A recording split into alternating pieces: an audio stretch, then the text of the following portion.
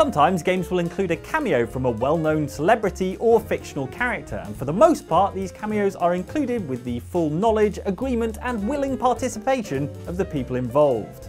Is that an otter on my head? Or am I just happy to see you? yes, even that one. Other cameos, though, are completely unauthorised, meaning that popular characters and recognisable personalities appear in games where you'd never expect them. What's more, in some cases, the developers even managed to avoid getting sued into oblivion for openly stealing a likeness or copyright. I'm Luigi Mario from Mario and I endorse this video about the 7 unauthorized cameos you won't believe they got away with! Beware spoilers for the following games. Wahoo!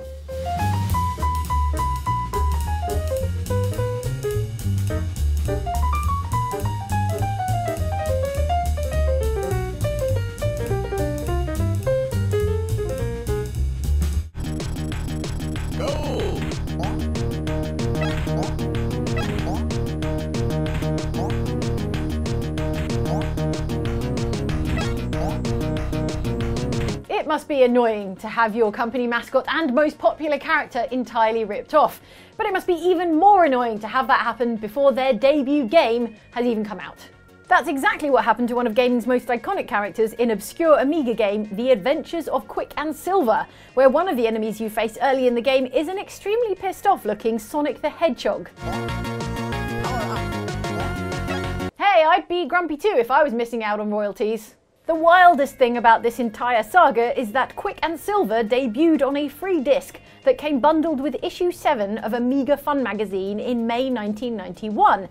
This was around a month before the June 23rd release of the very first Sonic the Hedgehog game on the Sega Genesis, making this entirely unauthorized cameo Sonic's first home video game system appearance by a matter of weeks. Gotta go faster, I guess. As far as we know, the outrageous plagiarism in this bizarre low-budget Amiga game was first spotted by YouTuber Larry Bundy Jr. back in 2015. A year when he could have alternatively been playing uh, The Witcher 3 or Bloodborne or Metal Gear Solid 5, but you know, whatever floats your boat. Although the timing and similarity of these sprites to the real thing makes the Sonic clone one of the most egregious in the game, the Blue Blur is not the only character who gets ripped off in the adventures of Quik and Silva. There's also Bub from Bubble Bobble, the player character from an old game called Nebulus, and even a nod to the Ninja Turtles. Fortunately, even at the time, this game was far too small and obscure to wake up any sleeping legal teams. Oh, and if you think a crudely animated, unlicensed Sonic is bad, just you wait till you see what they did to Mario. At the risk of perpetuating Italian American stereotypes, look how they massacred my boy.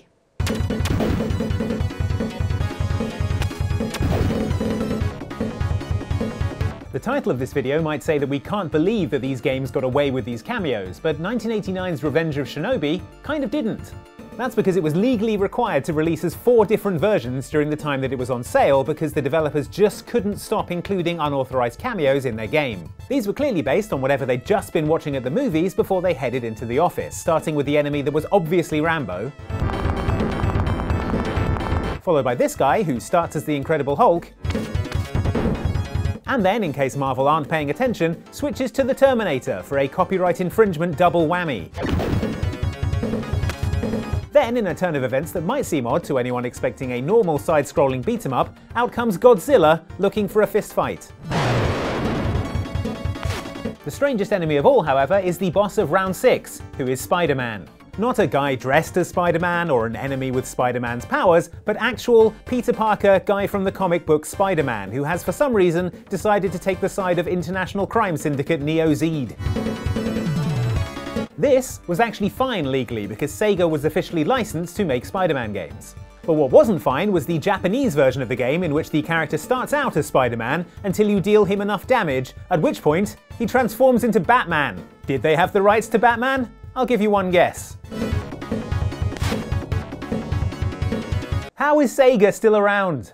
Ladies and gentlemen, boys and girls,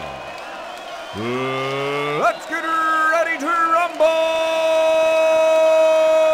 We missed the Ready to Rumble series of games. It was all the fun and pageantry of boxing with none of the concerns about the long term health implications of being repeatedly hit in the head.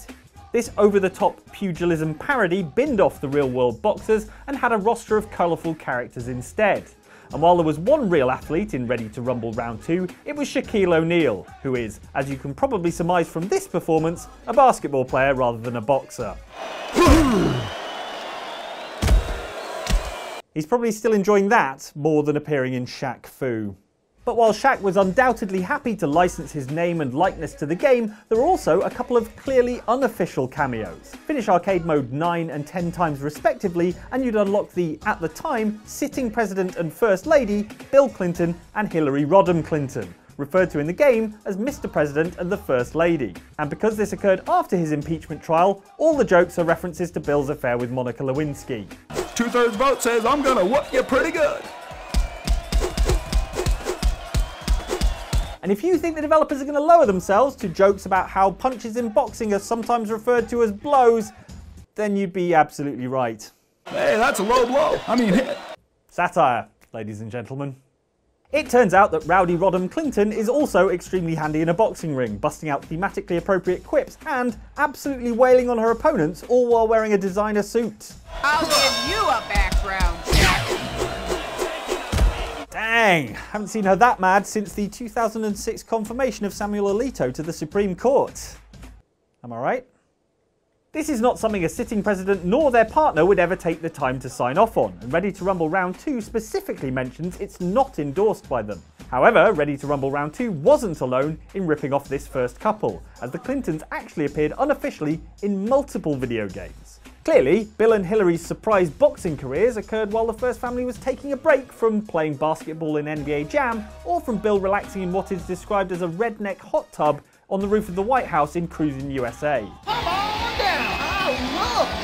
Come on in the hot. Keep politics out of gaming, keep politics in gaming more like. This stuff is amazing.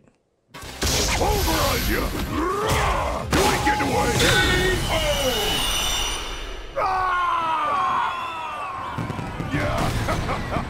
Plenty of Street Fighter characters are based on real life pugilists, from Hugo, who is based on pro wrestler Andre the Giant, to Fei Long, the series substitute for Bruce Lee, There is no way you could ever knock me out. to Akuma, who I think we can all agree is based on Dame Judi Dench. God, what does it do?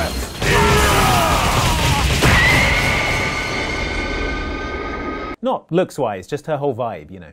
Nowhere is this more obvious, however, than in the character of Balrog, the boxer boss first introduced in Street Fighter II, who is just Mike Tyson. Round one.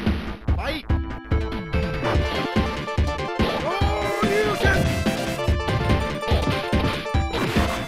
Like with the same haircut and dental work and everything.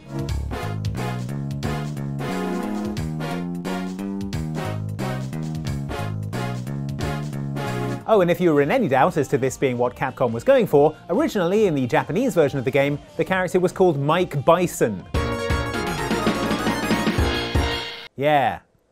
Fearing a lawsuit in the West if they released a game with a character called Mike Bison who looked exactly like Mike Tyson, Capcom shuffled the boss names around so that M. Bison became Balrog and the character known in Japan as Vega became M. Bison. Turns out though that they needn't have worried. Apparently, Mike Tyson only discovered that Balrog was based on him in 2019 and said that he was honoured by the impersonation. Not Judi Dench though. I heard she went to the Capcom offices and did the Shin Shun Goku Satsu true instant prison murder on everyone. No chill that one.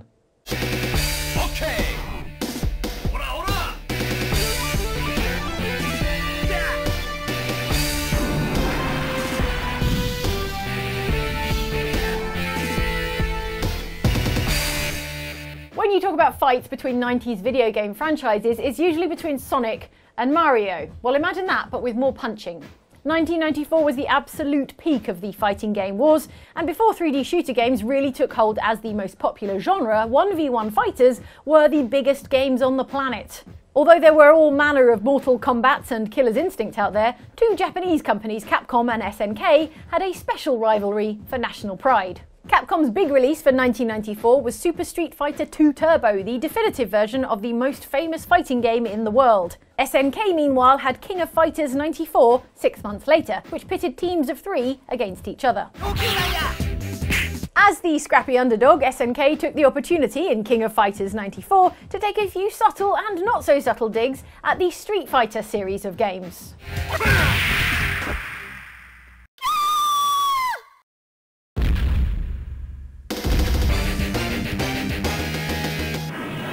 One of the not so subtle ones there. The most surprising bit of shade involved the game's final boss, Rugal Bernstein, a smug, super hateable crime lord who goes easy on you in the first round, but in the second round, what he loses in upper body clothing, he gains in extremely powerful attacks.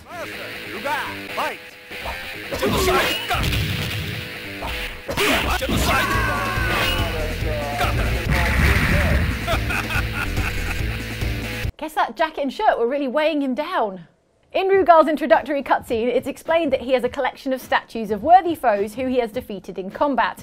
The eagle eyed will spot that some of these statues resemble characters from the Street Fighter series, most notably Guile, owner of the third tallest hairdo in fighting games. As you can see from this graphic I prepared earlier, it's actually not even close. Naturally, this little cameo implies that Capcom's Guile had at some point in the past been given a sound kicking by SNK's own character Rugal.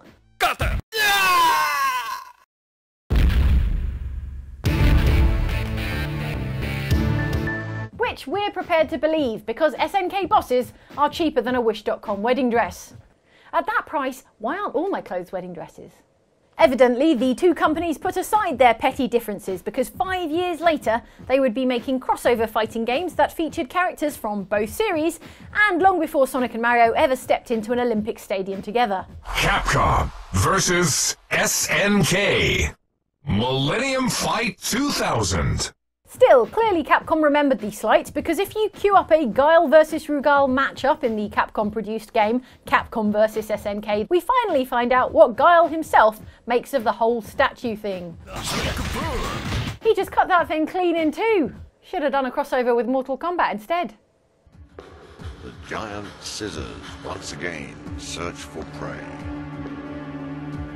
A trail of terror stretches across Europe from Norway to England. If you're not familiar with the Clock Tower series, it combines the frantic panic of survival horror with the vague inaccuracy of a joypad controlled point and click game.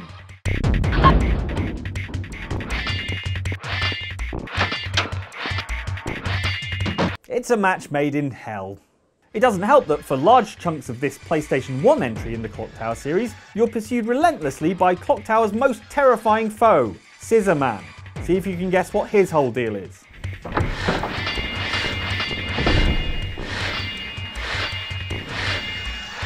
Hey, maybe he's just heading to cut the ribbon on a new youth centre. You don't know. One sequence, Scenario 2, has you playing as tabloid journalist Nolan as you visit a character called Rick in his home. A home that is a completely average rural house, apart from the giant, ostentatious, haunted chandelier in the open plan living area. So it used to hang in the Barrows mansion. Yes, what wonderful times they were. Except for.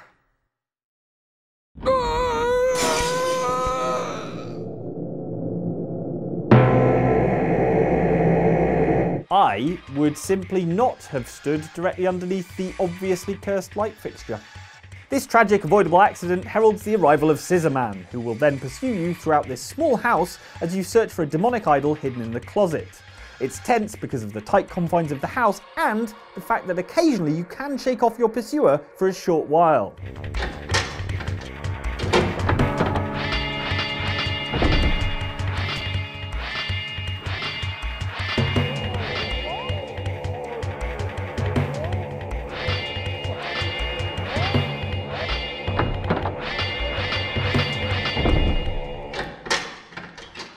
During one of those brief breathers, you can actually get the drop on Scissorman by re-entering a living room immediately after you exit it.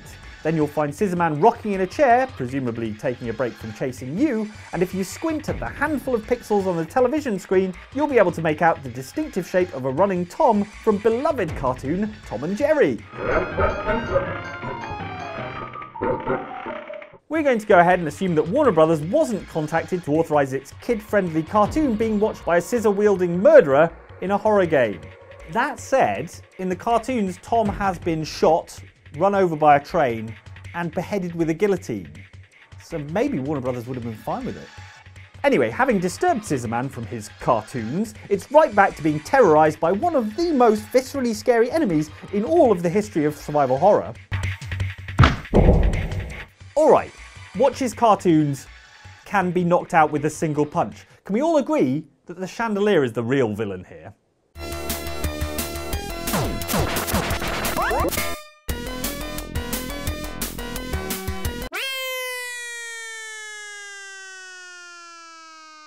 In 1988, video game plots could be about anything, which is why Dynamite Dux is about two bow tie wearing ducks who beat up a bunch of other animals to rescue a woman from a sorcerer named Acha-Cha. It was a simpler, much weirder time. Also popular in late 1980s video games? The unlicensed use of fast food mascots, apparently, because the very first thing you see in Dynamite Dux is a fiberglass statue of Colonel Harlan Sanders, founder of the Kentucky Fried Chicken Empire. Now, Colonel Sanders is no stranger to video games. Who could forget his appearance in WWE 2K18? Or the dating sim in which you try to date the Colonel himself in young, hunky tsundere form.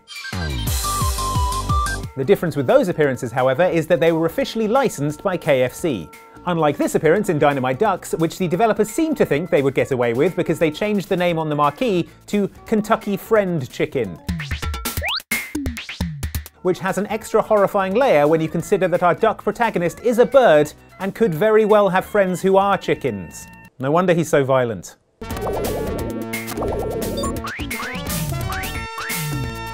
Wahoo! Wasn't that a great video? Uh, oh, it's Luigi from Mario.